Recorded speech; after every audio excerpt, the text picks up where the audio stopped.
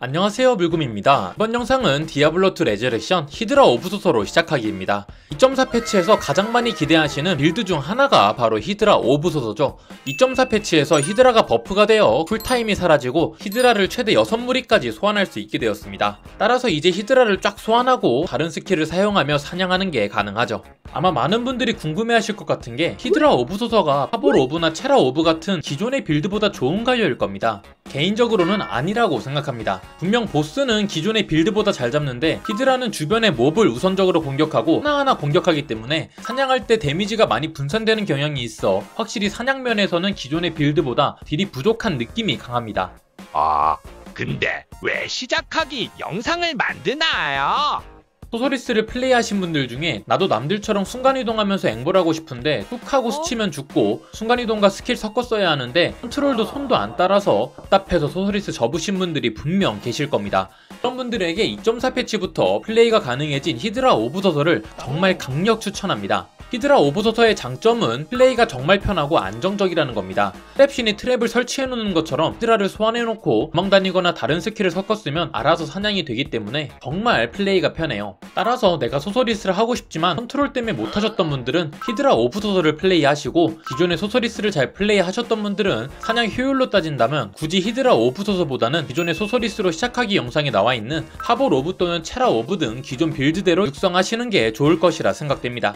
혹시 이 영상으로 디아2를 처음 접하신 분 중에 소서리스라는 캐릭에 대한 설명과 장단점이 궁금하신 분들은 기존의 소서리스로 시작하기 영상 앞부분을 참고해 주시고요. 해당 영상에서 지옥난이도 졸업까지 다 보여는 드리나 맨땅에서는 지옥난이도 act 3까지만 깬 다음 앵벌을 반복하는 것을 가장 추천드리고 앵벌 지역은 뒤에서 다루도록 하고요. 스킬을 레벨마다 찍는 순서는 어디까지나 가이드일 뿐 순서가 틀려도 전혀 상관이 없습니다. 이제 육성 영상 바로 시작하도록 잠깐! 본 영상은 소서리스 육성에 초점을 두어 퀘스트 및 플레이에 대한 내용은 많이 생략되어 있습니다. 이에 대한 내용은 위 추천 영상으로 만들어 놓았으니 퀘스트 및 진행에 어려움이 있으신 분들은 이 카드 영상을 보시면 도움이 될 것입니다.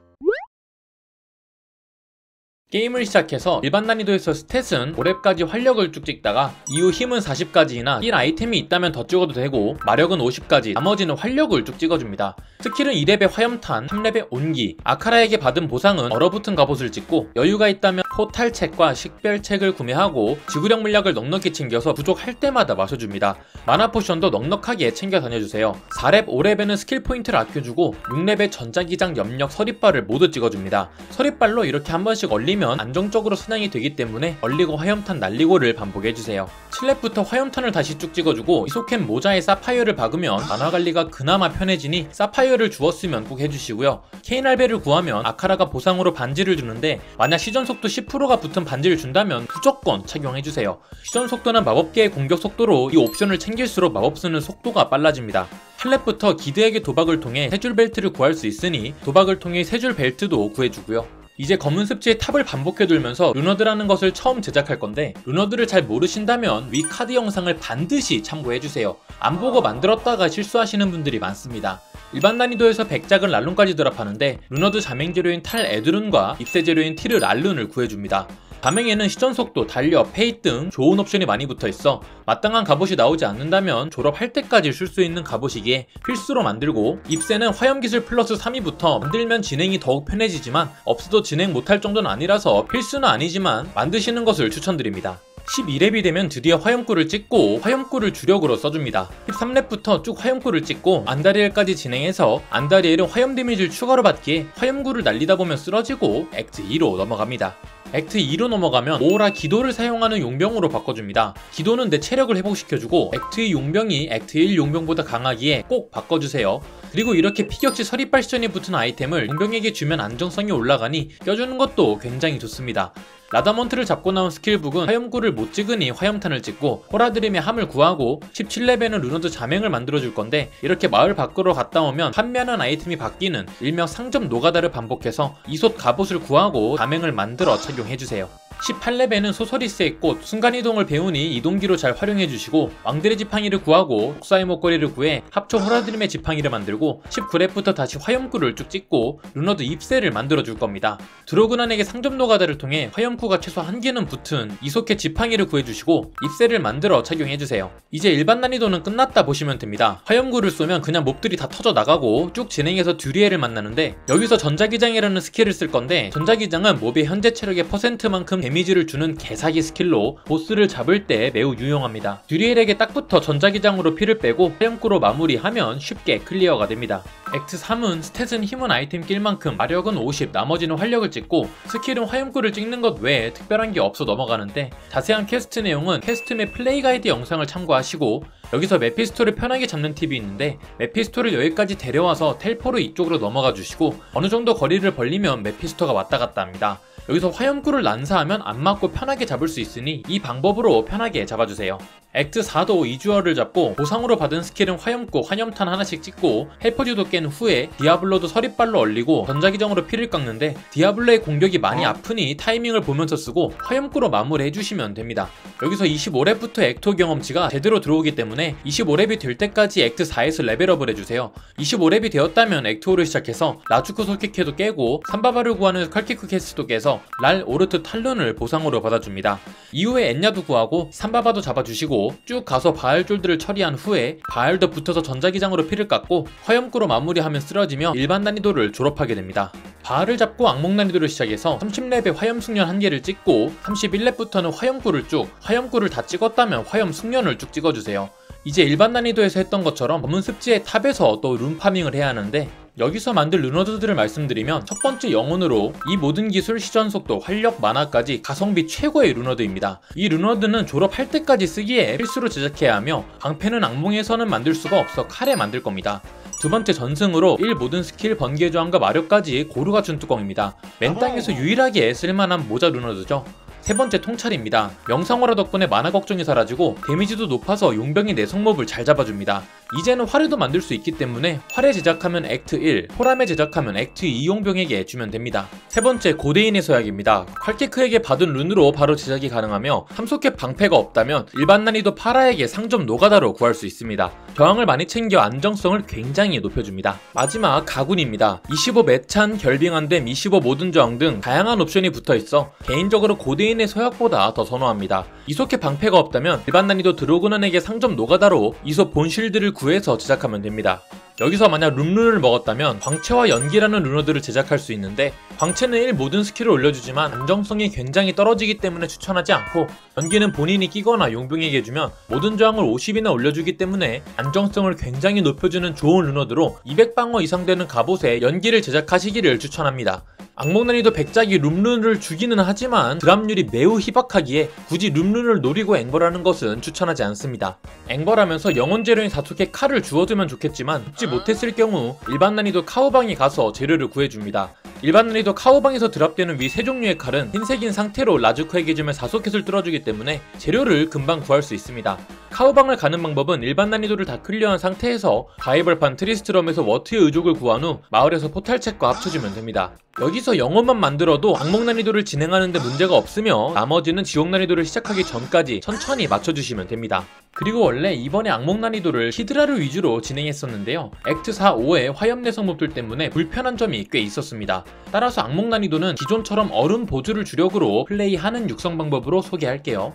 영혼을 만들었다면 아카라한테 stat 및 스킬 초기화를 해서 stat은 힘은 아이템 낄 만큼 나머지는 모두 활력을 찍고 스킬은 전기 주문에서 전자기장 염력 순간이동 1개씩 냉기 주문에서 얼음 보주를 최대로 찍고 얼음 숙련 5개를 찍고 화염 주문에서 히드라를 최대로 찍고 나머지는 모두 화염 숙련을 또 남으면 화염구를 찍으면 됩니다. 이제 악몽난이도 act 1을 쭉 진행해서 안다리에를 잡고 act 2로 가면 용병을 신성한 빙결을 쓰는 용병으로 바꿔주시면 되는데 신성한 빙결은 이후 냉기 내성을 가진 몹들도 얼려 안정성을 더욱 올려주기 때문에 선택했습니다. 만약 활에 통찰을 만들었다면 act 1에서 빙결화살을 쓰는 용병을 고용하시면 됩니다. 이후로 악몽 난이도는 전혀 어려울 게 없을 겁니다. stat은 힘은 낀 아이템이 있을 때마다 찍어주시고 나머지는 모두 활력을 찍으시면 되며 스킬은 얼음 보주를 마스터했다면 히드라를 마스터해줍니다. 이렇게 하면 바알까지 전혀 어렵지 않게 깨실 겁니다. 지옥 난이도를 시작하기 전 60렙까지는 악몽 난이도 act 4의 불길의 강에서 디아블로, act 5의 세계석 성채 2층에서 바알까지 사냥하고 60렙 이후로는 act 5 세계석 성채 2층에서 바알까지만 사냥하면서 레벨 65를 찍어주며 아까 말했던 runeword들도 만들어줍니다. runeword들을 만들고 65렙도 찍었다면 이제 지옥 난이도를 시작해줍니다. 그냥 65렙의 지옥 난이도를 해도 너무 힘들다 싶으시면 악몽 난이도에서 사냥을 하면서 레벨을 더 올려주세요.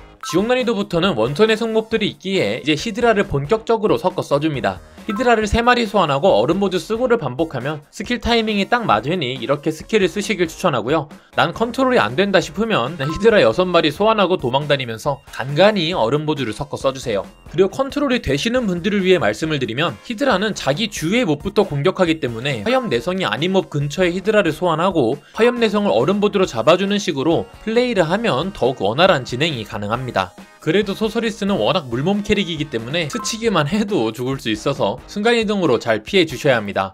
게다가 용병도 정말 잘 죽을 거라서 용병의 피가 반 정도 빠졌다 싶으면 순간이동을 써서 용병을 몹들에게서 떼어주세요. 이 용병 컨트롤도 플레이하는데 굉장히 중요합니다. 지옥 난이도부터 진행은 본인의 재량입니다. 말씀드리는 지역에서 앵벌을 하면서 렙업도 하고 아이템도 맞춰 다음 act 진행이 가능하다 싶으면 진행하고 힘들다 싶으면 또 렙업 및 앵벌을 반복해주세요. 먼저 검은 습지 탑에 있는 백작은 지옥 난이도에서 로룬까지 들어갑니다만 사실상 코룬 이상으로 그리 잘 나오진 않습니다. 그래도 맨 땅에서는 여기만큼 룬을 잘 모으는 곳이 없으니 룬을 farming하실 분들은 탑을 돌아주시는데 백작은 화염 냉기 내성이므로 주변 몹들을 다 잡고 전자기장으로 피를 뺀 후 용병이 마무리하게 해주시면 됩니다. 타모 고지에 있는 구덩이 1, 2층은 모든 종류의 아이템이 drop되는 곳이기에 앵벌의 성지, 맨 땅의 희망이라 불립니다. 매찬이 낮아도 값이 나가는 소켓 아이템들이 drop되기에 이를 사람들과 거래하면 충분히 아이템을 구할 수 있습니다. 여기서 활쟁이들이 상당히 까다로울 텐데 활쟁이들 옆에 히드라를 소환해놓고 도망 다니면 쉽게 잡을 수 있습니다. 마지막 안다리엘입니다. 히드라 오브소서로 정말 잡기 편합니다. 주변 몹들은 얼음보주로 정리하고 안다리엘 옆에 히드라를 소환하면 순식간에 녹아버립니다. 보스라서 아이템도 잘 나와요. 이 코스를 돌아주면서 렙업 및 앵벌을 해주시고 아까 악몽 난이도에서 영혼을 방패 못 만든다 했죠? 지옥 난이도부터 사소켓이 뚫리는 모너크, 워드, 이지스라는 방패가 drop되는데 이지스는 힘제가 너무 높아 패스하고 만약 normal 모너크나 normal 워드를 주웠다면 라주크한테 줘서 사소켓을 뚫거나 이미 사소켓이 뚫린 모너크나 워드를 주웠으면 runeword 영혼을 만든 후에 stat 및 스킬 초기화를 해서 힘을 찍어주시고 착용해주시면 됩니다. 스킬은 히드라 마스터 이후에 화염 숙련, 화염구, 화염탄 순서로 마스터하시면 되며 소서리스에게 어떤 아이템이 좋은지가 궁금하시다면 이 소서리스 세팅 영상을 참고해주세요. 또한 craft라는 방법을 통해 필요한 아이템들을 제작할 수 있는데 이게 워낙 내용이 많아서 craft에 대한 자세한 내용은 위에 카드 영상을 참고해주시고 어느 정도 사냥이 되겠다 싶으면 act 2부터 플레이해주시면 됩니다. 플레이하다가 막히면 렙업 및 앵벌을 반복하면서 쭉쭉 진행해주세요. 쭉 진행하다가 아마 act 5 3바바에서 많이 막히실 텐데 맵 바닥에 포션들을 많이 준비하고 3바바가 화염 내성, 냉기 내성이 같이 붙지 않고 위세 광신호라가 없으며 피해 증폭 저주를 걸지 않을 때까지 리셋을 해주세요. 그리고 괜찮은 3바바가 나타나면 맵 아래쪽으로 모아준 다음 순간이동으로 위로 도망갑니다. 이렇게 3바바를 따돌린 상태에서 3바바가 있는 방향으로 조금씩 가면 바바가 오는데 한 마리에서 두 마리씩 본인의 역량대로 잡아주시면 되며 붙어서 전자기장을 쓰다가 한 방에 죽을 수 있으니 조심해주세요. 이렇게 한 마리씩 잡으면 3바바도 쉽게 넘어갈 수 있습니다. 3바바를 잡았으면 쭉 진행해서 바알도 전자기장으로 피를 깎고 지옥 난이도를 졸업하게 됩니다. 지옥 난이도를 졸업했을 때 아이템 소개할게요.